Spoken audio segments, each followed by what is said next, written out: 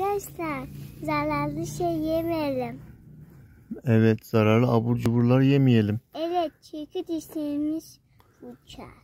Evet dişlerimiz çürüyebilir o yüzden fırçalamamız lazım. Evet çünkü yemekten et yiyelim, yoğurt yiyelim. Değil mi? Pilav Evet, yiyelim. Pilav yiyelim, et yiyelim, yoğurt yiyelim. Şimdi dişimizi fırçalayalım. Evet yemekten sonra fırçalayalım. gitsin.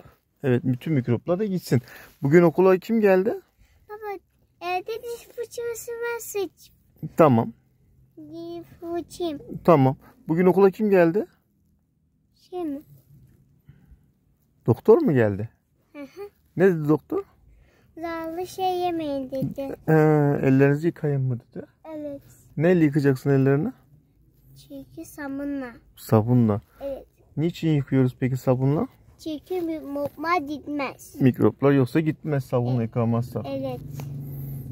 Hmm. Peki bu bilgisayara, tablete bakmayın gözleriniz ağrır dedi mi? Evet. Bak onu da demiş. Dikkat etmeliyiz. Yarın bunu Serenay'a da söyle tamam mı? O da bilsin en azından. Onun sağlığı bozulmasın. Tamam mı? Çünkü gözlük karar. Evet gözlük alır o zaman iyi olmaz. Gözleri kötü görür o zaman. Hı hı. Hmm, bir şey diyor musun başka bir şey? Saçımızı yıka dedi, sabun dök dedi Hı hı. çünkü şey saçımızı tara dedi çünkü kaşını on dedi Evet. doktor. Kaşınmasın dedi. tamam peki. Baba. Heh. Başka bir şey dedi mi? Tamam peki o zaman arkadaşlarından bir şey diyor musun? Like atıp abone olsunlar mı? Evet.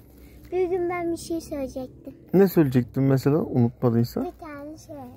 Hmm, unuttun mu? Hadi söylemek istediğini söyleyebilirsin. Bir tane şey. Hmm, unuttum ben. Ben ne dedim?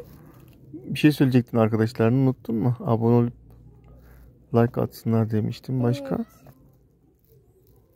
Dişlerimiz fırçamasın. Ha, tamam peki. Hadi görüşürüz. Dişlerimizi fırçasınlar. Tamam. Akşamları veya yemekten sonra her zaman dişlerinizi fırçalayın. Ellerinizi yıkayın sabunla.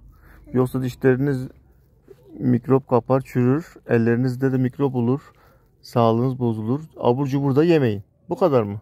Tamam hadi görüşürüz. Görüşürüz.